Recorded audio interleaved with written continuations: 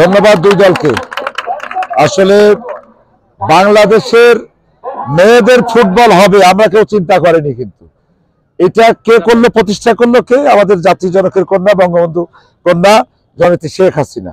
আজকে বঙ্গমাতা, তারপরে এই যে বঙ্গবন্ধু গোল্ড কাপ, এইসব টুর্নামেন্ট দিয়েই কিন্তু আমরা শুরু করেছি।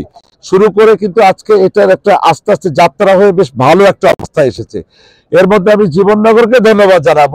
যে তারা এই যে ক্রীড়া সংস্থা বা যারাই করুক উদ্যোক্তা তারা এই যে আমন্ত্রণ করেছে চুয়াডাঙ্গা একাদশ প্লাস আমাদের ফরিদপুরের চাঁদেঘাট গার্লস একাডেমি। এরা যে এসছে এদের দুই দলকেই অভিনন্দন জানাচ্ছি।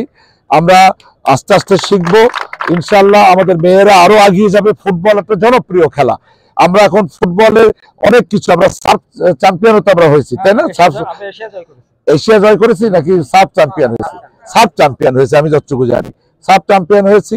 আমরা ইনশাল্লাহ এগিয়ে যাব। আমি তোমাদেরকে বলব যে আমরা সুন্দর একটি ফুটবল আমাদের এই জীবননগরে মানুষ সবাই আছে। আমরা সবাই সুন্দর একটা ফুটবল প্রতিযোগিতা দেখব। একদল হারবে, একদল জিতবে তো অবশ্যই আছেই। আর সুন্দর তোমাদের উৎসাহ আমরা জাতীয় দলে খেলব। আমাদের যারা আছে তাদের বলব, তোমরা যদি জাতীয় দলে খেলতে যাও, তাহলে কিন্তু আমরা মানে খুব গর্ববোধ করব, চুয়াডাঙ্গার মেয়ে। আমরা ফরিদপুরের মেয়ে থাকলে ফরিদপুরের মেয়ে আমাদের জাতীয় দলে খেলছে।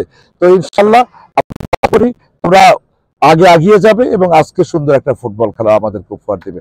ধন্যবাদ সবাইকে। হ্যাঁ হ্যাঁ।